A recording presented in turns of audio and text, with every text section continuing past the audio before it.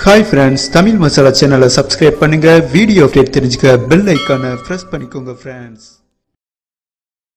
friends today world cup match Pakistan versus England fight பண்ணாங்க. இந்த மேட்ச்ல பாகிஸ்தான் முதல் பேட்டிங் பிடிச்சு செம்மையா கிளாஸா பேட்டிங் பண்ணாங்க என்று தான் சொல்லணும். ஆல் பேட்ஸ்மேனும் செம்ம கிளாஸாக பிளே பண்ணினர். இதன் மூலம் 50 ஓவரில் பாகிஸ்தான் முன்னூத்தி நாற்பத்தி எட்டு ரன் ரீச் பண்ணினர். சரி ஓகே ஃப்ரெண்ட்ஸ் இந்த டார்கெட்டை நம்ம இங்கிலாந்து டிஃபன் பண்ணி பரம எதிரியான பாகிஸ்தானை பிச்சு எடுப்பாங்களா என்று பொறுத்திருந்து பார்க்கலாம். சரி ஓகே நாளை மறுநாள் புதன்கிழமை மதியம் மூன்று மணிக்கு வேர்ல்டு கப் இந்தியா மோதும் முதல் மேட்ச் சவுத் ஆப்பிரிக்காவை சந்திக்கிறது.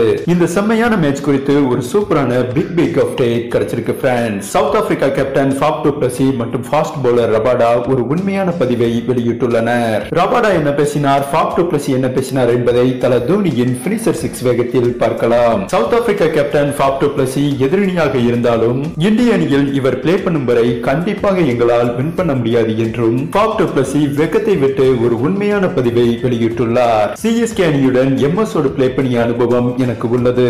அவர் வேர்ல்டு கப்பை போன்ற பெரிய சீரீஸில் பிரசன்ஸ் ஆஃப் தி கேம் வேற லெவலில் இருக்கும். குறிப்பாக சொல்ல போனால் டீமில் உள்ள பிளேயரை எந்த அளவுக்கு நம்புவாரோ அதை விட ஒரு படி மேலே போய் மேட்சை தனியாக பினிஷ் பண்ணி கொடுக்க வேண்டும் என்றும் நினைக்கக்கூடியவர் எம் எஸ். எம் எஸ் தோனியின் அந்த பினிஷிங் பிளேயிங்கை பங்களாதேஷ் பயிற்சி ஆட்டத்தில் பார்த்து மிரண்டு விட்டோம் என்றும் அப்படித்தான் புதன்கிழமை நடக்கும் இந்தியா vs சவுத் ஆப்பிரிக்கா மேட்சில் எம் எஸ் தோனி தான் இந்திய அணியின் பெரிய கீயாக இருப்பார். மேலும் அவர் பிளேயிங் லெவல் வேர்ல்டு கப்பை போன்ற பெரிய சீரீஸில் வேறு லெவலில் தனித்திருக்கும் இருக்கும். இந்த மேட்சில் இந்திய டீம் ஆரம்ப பேட்ஸ்மேன்களை எளிதாக வீழ்த்தினாலும் எம் எஸ் தோனியை சீக்கிரம் காலி பண்ணினால் மட்டுமே நாங்கள் வின் பண்ண வாய்ப்புள்ளது என்றும் அதே சமயம் எங்கள் அணியின் ஸ்டார் பிளேயர் ஆம்லா மற்றும் லுங்கி நெகிடி இன்ஜுரி காரணமாக இந்த மேட்சில் பிளே பண்ண முடியாது.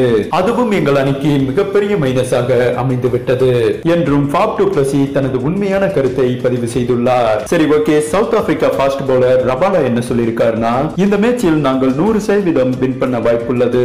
அதற்கு மெயின் ரீசன் கோலியை பொறுத்தவரை ஒரு மெச்சூர் இல்லாத கேப்டன் அடிக்கடி பதட்டப்படக்கூடியவர் கொஞ்சம் மெச்சூரிட்டியும் கம்மி. அந்த மைனஸை எங்கள் அணிக்கு சாதகமாக பயன்படுத்திக் கொள்ளலாம். பட் இந்த மேட்சில் விராட் கோலி இன்ஜுரி காரணமாக பிளே பண்ணுவாரா என்று மிகப்பெரிய சந்தேகம் எழுந்துள்ளது.